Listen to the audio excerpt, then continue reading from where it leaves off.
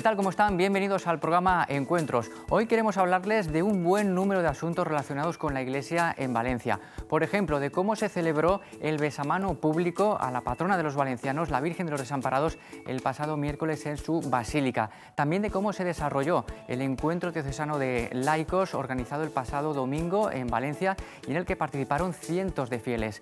También les hablaremos de qué es lo que se dijo en la convención organizada aquí en Valencia por el Centro Español de Sindonología, una entidad que se dedica a la investigación y a la divulgación de las principales reliquias atribuidas a Jesucristo, sobre todo la sábana santa de Turín, el sudario de Oviedo y el santo cáliz de la Catedral de Valencia. Y además de todo ello, hoy también queremos darles a conocer una iniciativa que está impulsando la Asociación Mestres Campaners para recuperar después de nada menos que 100 años las campanas de una de las torres más importantes, más emblemáticas de toda la diócesis de Valencia, la de la iglesia de Santa Catalina. Es también conocido ese campanario como la novia del Miguelete por su altura, por su esbeltez y también sobre todo por la gran cercanía con la torre campanario de la Catedral de la Diócesis de Valencia.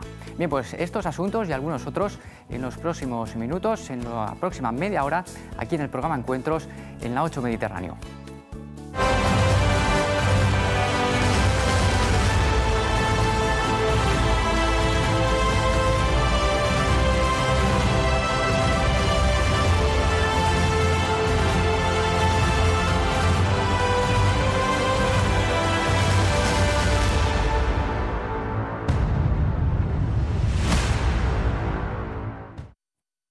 Pues entramos ya en materia hablando de ese besamano público a la patrona de los valencianos, a la Mare de Déu dels Desamparats. Es ya una auténtica, tradición aquí en la diócesis de Valencia. Eh, desde las 7 de la mañana del pasado miércoles 23 de mayo comenzaron a pasar miles y miles de fieles delante de la Virgen para honrarla, para venerarla. Estuvieron allí eh, bueno, pues hasta bien entrada la noche de ese día 23. Es una iniciativa ciertamente eh, hermosa, con mucha gente esperando desde primeras horas de la mañana para poder participar en esas imágenes que estamos viendo llenas de emoción. Allí los valencianos depositan a los pies de la Mare de Déu Desamparats, pues podemos decir que es su vida, ¿no? Porque confían a la Mare de Deus sus problemas, también sus alegrías, sus ilusiones, sus proyectos, pidiendo la intercesión de nuestra Madre. En la Plaza de la Virgen, durante toda la jornada, hubo además varias mesas informativas de entidades relacionadas con la Virgen de los Desamparados. Por ejemplo, la, de la Fundación Maides, la Fundación Mare de Déu del Innocents y Desamparats, que se dedica a la atención de personas con enfermedades mentales graves y en riesgo, además de exclusión social.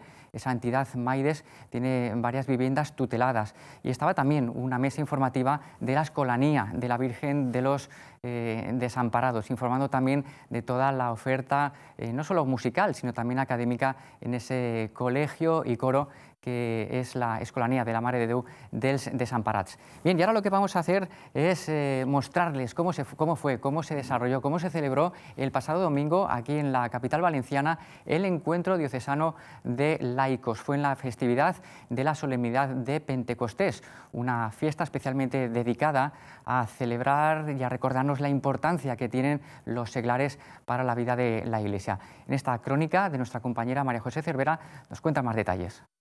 Cientos de valencianos, entre ellos familias, jóvenes, feligreses de parroquias y movimientos cristianos, se han dado cita en el encuentro diocesano de laicos convocado por el Arzobispado de Valencia a través del Consejo Diocesano de Laicos. La jornada dio comienzo con la acogida de participantes en la plaza del Arzobispado por parte del Cardenal de Valencia, Antonio Cañizares, acompañado por el obispo auxiliar Monseñor Arturo Ross.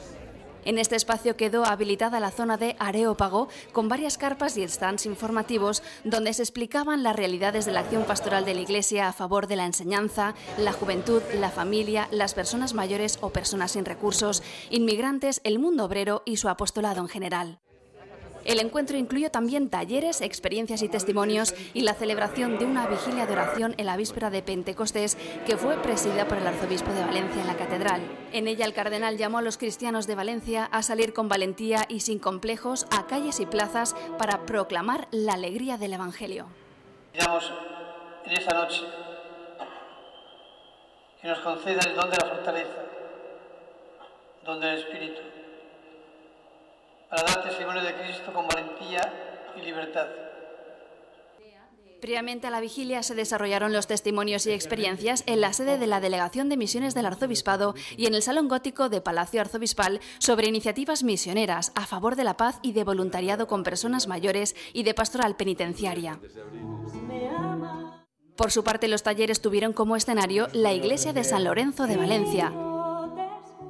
Igualmente, la Vicaría de Evangelización acogió tres conferencias a cargo del teólogo, filósofo y escritor José Luis Ferrando Lada, la profesora de Filosofía y teóloga Anastasia Hernández y del profesor y coordinador de las aulas universitarias de la experiencia de la Universidad CEU Cardenal Herrera, José Luis García Martínez.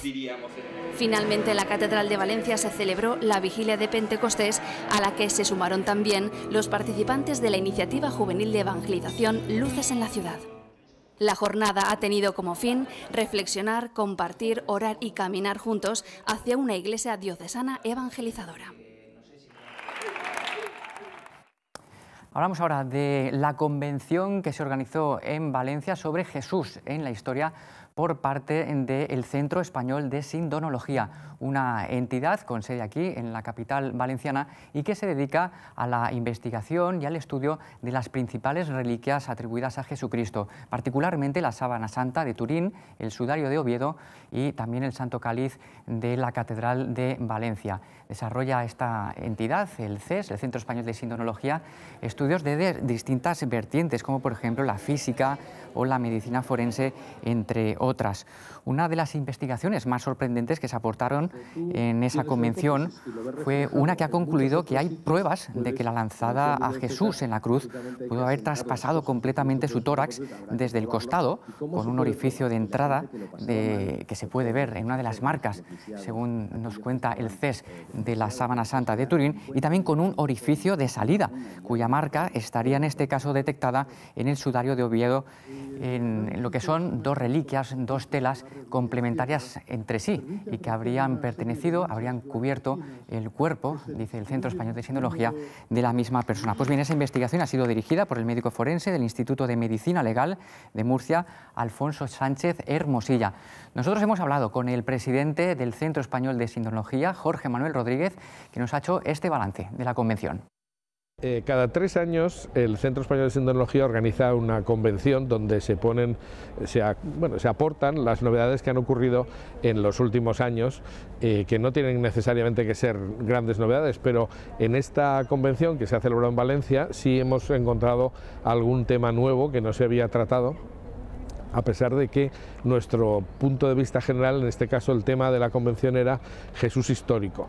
Eh, no obstante, pues como digo, se aportan algunas novedades de la investigación que se ha realizado en estos años. Una de las novedades más importantes eh, ha sido precisamente el estudio mm, de compatibilidad entre una herida que aparece en la parte posterior de la sábana santa, en la espalda, eh, que puede ser la salida de la lanza, de la lanzada dada por Longinos, ¿no? que se llama tradicionalmente quien dio la lanzada de Jesús en la cruz.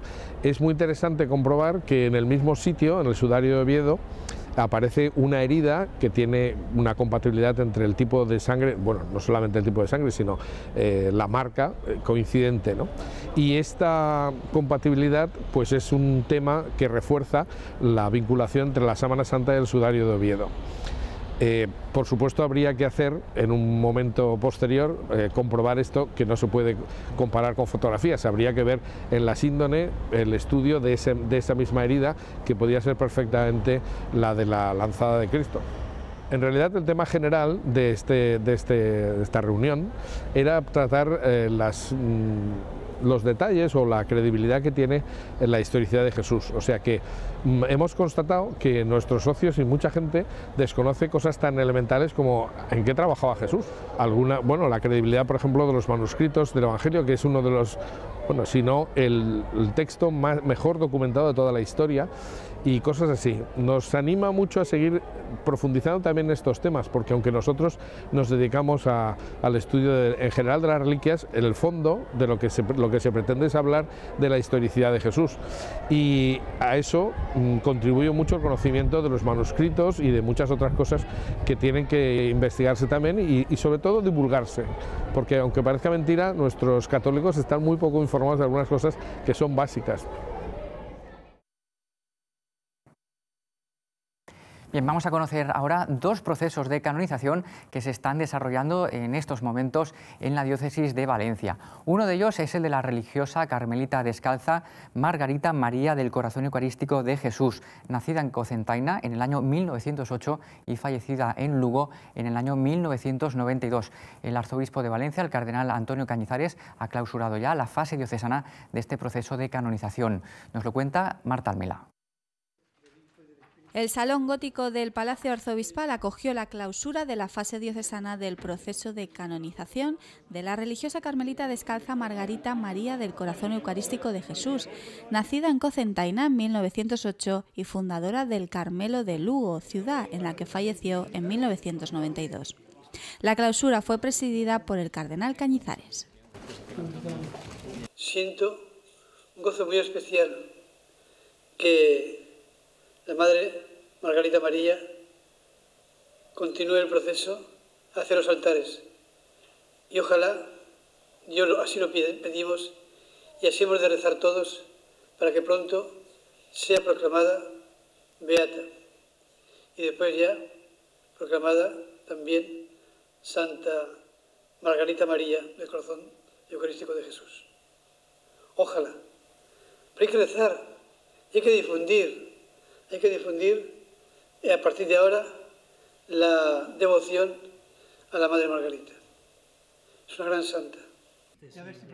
Concluida la fase diocesana que se inició en el año 2006, el proceso continuará en Roma donde se enviará toda la documentación recogida durante estos años para que siga su curso en la Congregación Vaticana para la Causa de los Santos. Margarita María del Corazón Eucarístico de Jesús nació el 16 de marzo de 1908 con el nombre civil de José Farret. Tras completar su formación ingresó en el convento de las Carmelitas Descalzas, ubicado entonces en Manises, donde profesó solemnemente en 1940 y en 1983 se trasladó junto a su comunidad a Lugo, única provincia española en la que no había ningún convento de carmelitas descalzas. Allí falleció el 11 de febrero de 1992 a los 83 años de edad. Y el otro proceso de canonización del que les hablamos es el del religioso mercedario Andrés Garrido Perales, más conocido como el Pare Presentat. Es un proceso de canonización que ya está en Roma desde el año 2012, después de haber superado la fase diocesana. Y ahora lo que se ha abierto aquí, en la diócesis de Valencia, es la instrucción de un posible milagro por intercesión del Pare Presentat. También nos amplía esta información Marta Almela. Obispado de Valencia ha abierto el proceso sobre un posible milagro obrado por intercesión del siervo de Dios Andrés Garrido Perales, fraile mercedario nacido en Vallada en el siglo XVII, conocido como Pare Presentat. La apertura del proceso fue presidida por el cardenal Cañizares, quien, a petición del postulador general de los padres mercedarios, decretó la instrucción de este proceso canónico que estudiará una curación que tuvo lugar en la ciudad de Xativa en el año 1942 en una señora que estuvo varios años enferma. El religioso Andrés Garrido Perales, nacido en Vallada en 1663, tomó el hábito de la Orden de la Merced a los 16 años en el Real Monasterio del Puig de Santa María, en Valencia. Ejerció su ministerio en Elche, en Orihuela, en los conventos de la Merced y de San Pedro Nolasco de la ciudad de Valencia y en Xátiva, donde murió con fama de santidad el 23 de febrero de 1728. Su causa de canonización sigue su curso en Roma desde que fue clausurada en fase diocesana en el año 2012. Bien, ahora lo que vamos a hacer es hablar de esa iniciativa que les avanzamos al principio y que está impulsando la Asociación Mestres Campaners para recuperar después de 100 años las campanas de la Torre de Santa Catalina, que como les decíamos también se trata desde luego de una de las torres más emblemáticas, más importantes que hay en toda la diócesis de Valencia. Tenemos aquí a uno de los fundadores de Mestres eh, Campaners. Vicente Mesa. Muy buenos días, Vicente. Bienvenido. Hola, buenos días. Bueno, ¿y cómo después de 100 años eh, esta entidad, Mestres Campaners, habéis tenido esta iniciativa, este proyecto de volver a recuperar después de tanto, tanto tiempo ¿no? las campanas de, de, la torre de Santa Catalina?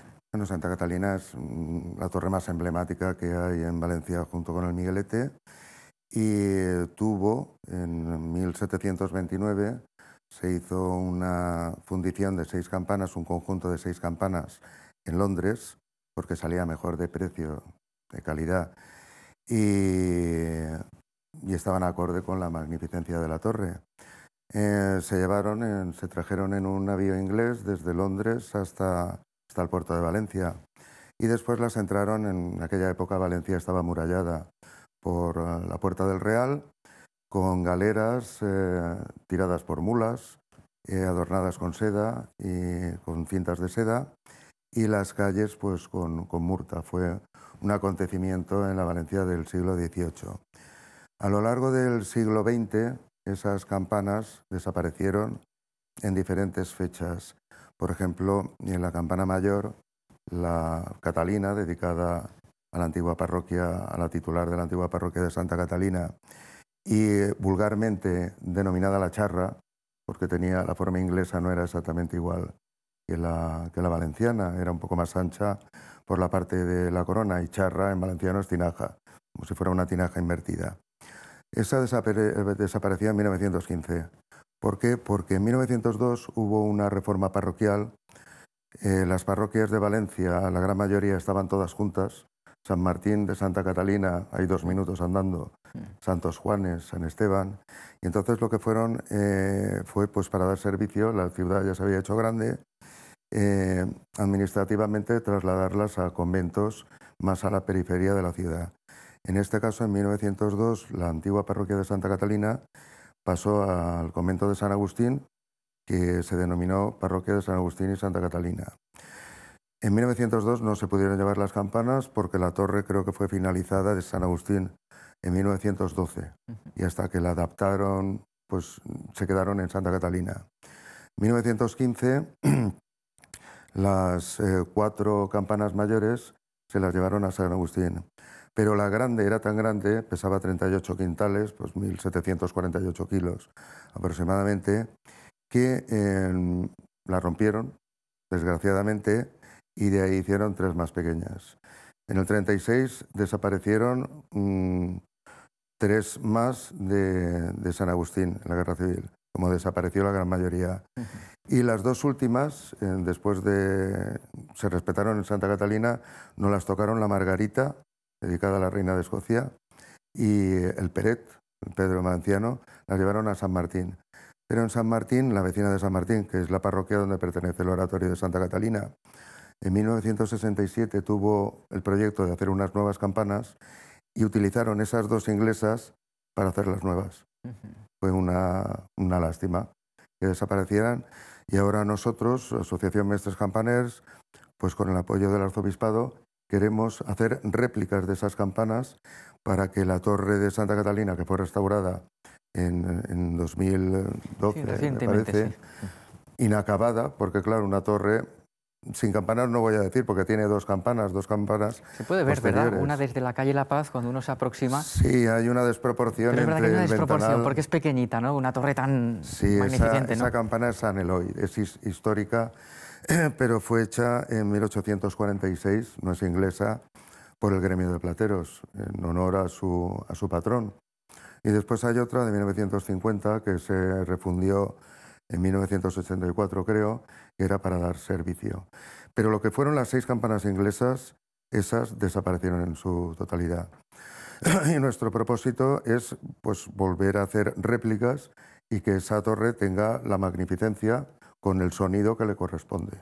Esa campana era muy parecida, por si la gente tiene curiosidad, en sonido y en tamaño, a la mayor de los santos Juanes, que se llama de apodo el Borrego, y que confronta con la lonja. Si alguien la quiere escuchar, tiene la oportunidad en la procesión del Corpus de ponerse en los escalones de la lonja, si, si queda sitio, porque aquello siempre se pone multitudinario, y oírla. Es un espectáculo esa campana. Ah, pues queda muy poquito para el corpus, habrá que tomar nota, ¿no? Para... En la Plaza de la Reina sería atronadora, sería un espectáculo. Para los amantes del arte, las personas religiosas, sería, mm, bueno, llenaría una barbaridad. ¿Y cómo estáis haciendo para desarrollar el proyecto? ¿Con qué ayudas contáis? Pues hemos organizado una colecta popular en, el Banco Popular y vamos, vamos eh, van haciendo aportaciones, pero claro, lo que hemos, el conjunto en total de seis campanas aproximadamente vale 200.000 euros. La cantidad es bastante elevada. Hemos empezado por fases para hacer primeramente la campana mayor. La campana mayor, el bronce, ya son 50.000 euros, sin contar el yugo que la sustenta para que pueda voltear. Y una vez con la campana mayor ya fabricada, pues haremos el resto.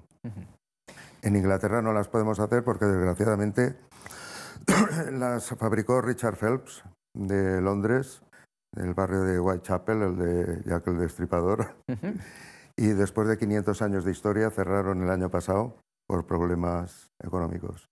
Pero después de haber tenido campanas, creo, ¿no? En sitios también muy emblemáticos. En Big Ben tienen una y en la Catedral de San Pablo tienen otra, de Richard Phelps, de aquella ah. época. De aquella época. Ha sido una lástima que esa fundición la, hayan cerrado porque las hubiéramos encargado allí.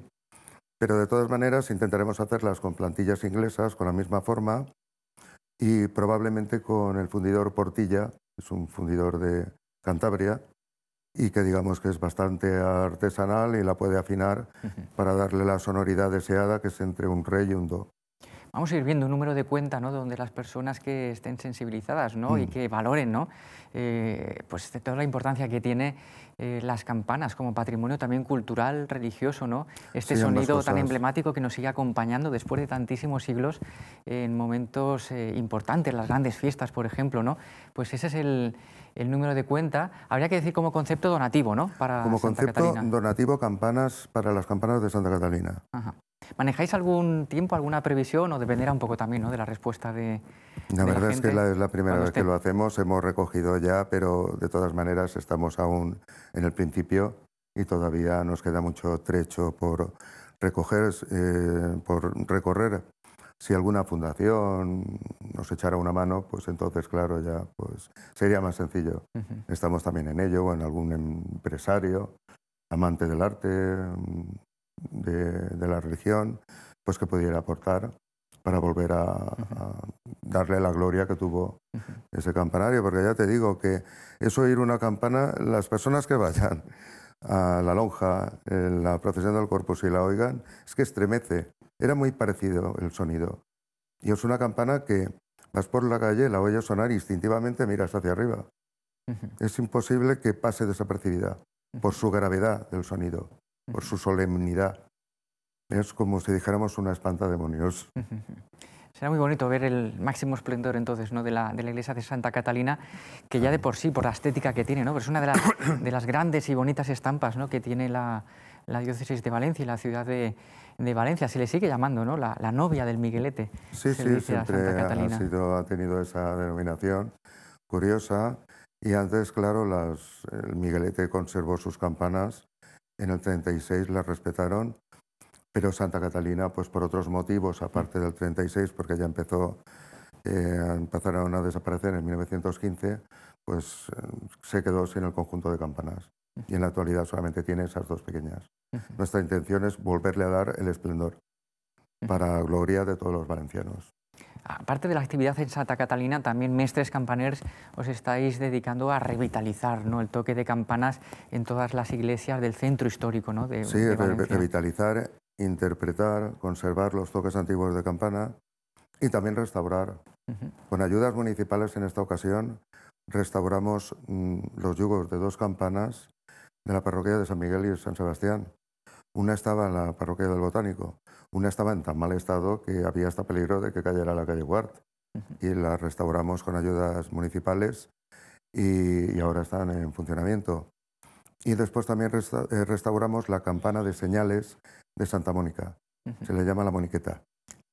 Ahora eso lo hizo un José Luis, un miembro nuestro, un amigo, fotógrafo, eh, José Luis Villar, creo que es de apellido. Él mismo es un manitas y hizo una obra de arte con la campana esa. O sea que estamos en eso, en la difusión, en la conservación, en la interpretación y en la restauración. Y ahora con Santa Catalina, que es nuestro proyecto estrella, sería la reposición de uno de los mejores conjuntos de, campanas de Valencia, junto con los de San Valero, también estupendas, los Santos Juanes. En Valencia hay conjuntos de campanas muy buenos. Se perdieron muchos en el, en el 36, pero en los años 40 muchos de ellos se restablecieron. Bueno, pues vamos a ver, eh, Vicente, si dentro de poco, ojalá, podamos ver de nuevo sonar con toda su potencia ¿no? y con toda su belleza ese, campanario de, Santa Catalina. A la generosidad de los valencianos y de las instituciones y de las fundaciones, a ver si este sueño se puede hacer realidad a corto plazo. Ojalá. Muchas gracias, Vicente, por habernos acompañado. Hasta la próxima. Bien, pues nosotros vamos a continuar el encuentro y acabar ya. Y en este caso vamos a ver cómo viene el periódico Paraula del Arzobispado de Valencia. Belén Nava nos cuenta cuáles son los contenidos principales de esta semana. Paraula Iglesia en Valencia abre su edición de esta semana con el encuentro diocesano de laicos que congregó el pasado sábado a cientos de personas en el centro de Valencia. La alegría de una iglesia joven y en la calle, abierta y sin complejos, a la vista de todos, es el titular principal de esta información y lo que transmiten las cuatro páginas que el semanario dedica al tema, con fotografías, resúmenes de las conferencias, experiencias, talleres y testimonios de los participantes. Paraula también lleva a su portada otro encuentro, el de Luces en la Ciudad, que en este caso reunió a jóvenes de colegios, parroquias, movimientos y asociaciones juveniles para tratar, entre otros temas, la música, las redes sociales, la vocación y el futuro de los jóvenes en la Iglesia. Otro de los temas destacados esta semana en Paraula es la jornada Pro Orantibus, en la que se recuerda especialmente a las comunidades de vida contemplativa que se dedican a la oración en la clausura. Paraula ha entrado en el convento de la Encarnación, en pleno centro de Valencia, donde viven felices y entregadas 16 carmelitas de la antigua observancia. ¿Qué se hace dentro de un convento de clausura? y del convento a un centro de menores, porque Paraula también ha visitado esta semana el proyecto Over de Giria, un nuevo hogar para menores desfavorecidos gestionado por la Fundación La Salle Acoja. Su objetivo, ofrecer a los niños el calor familiar cuando su familia no puede hacerlo señora Belén Navarra, nuestra compañera también, Eva Alcaide, a la que le agradecemos también esa síntesis de los principales contenidos del periódico Paraula del Arzobispado de Valencia. Nosotros nos vamos a despedir ya. Les recordamos además que este domingo vamos a celebrar, como nos contaba antes eh, Eva también en esa crónica de Paraula, eh, la jornada pro orantibus, es decir, la jornada en la que rezamos nosotros por los que rezan siempre por nosotros, que son los religiosos y religiosas de vida contemplativa. Hay que acordarse de ellos este domingo porque es su día. Bien, nosotros terminamos aquí, volveremos la semana que viene con más noticias de la Iglesia en Valencia. Hasta entonces, que pasen una feliz semana. Adiós.